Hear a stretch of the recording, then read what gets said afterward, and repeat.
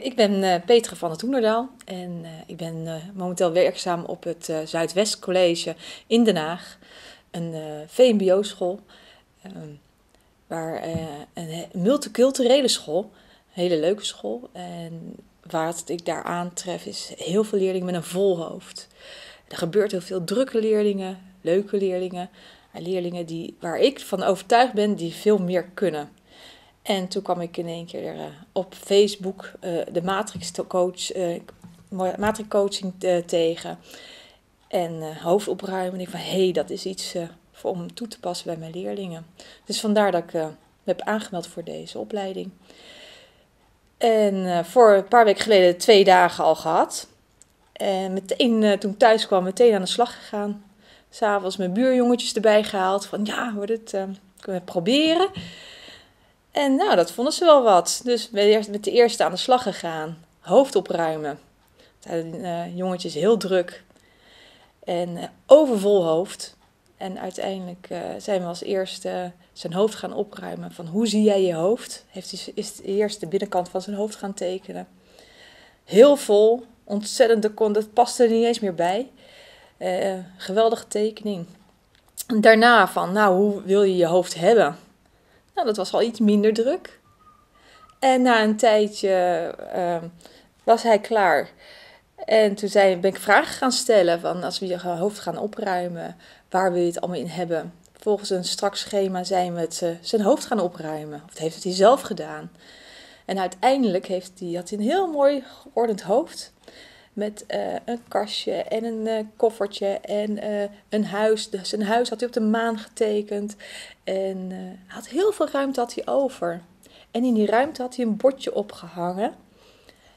met erop, vandaag heb ik het opgeruimd. Toen was hij klaar. En een paar dagen later kwam ik hem tegen en zei, hey, hoe is het nu hè, in je hoofd? Toen zei hij, ik voel het bordje nog steeds zo slingeren, zei hij. Dus dat was nog steeds eigenlijk best wel leeg. Dus dat was hartstikke leuk. Dat was mijn uh, eerste ervaring. Dus het valt goed. Ja. Dus, ja? Dankjewel, dat was het. Nog ja. meer, maar ik heb er nog wel één ja, als je maar, nog meer, uh, ja, als je meer uh, ja, nog één? mag dat. Ja, absoluut. Oké. Okay. Um, het broertje, nog mijn andere buurjongen, daar ben ik ook mee aan de slag gegaan. Die uh, zag een beetje tegenop. Die had een toets de volgende dag. En helemaal zenuwachtig. En ik had alleen maar onvoldoendes. En ik zei, nou, wil je daar iets mee? Ja, ik wil van, het gevoel af. Nou, daar kan ik wel iets mee, zei ik. Ik zei, kom maar. Dus wij zijn samen aan de slag gegaan.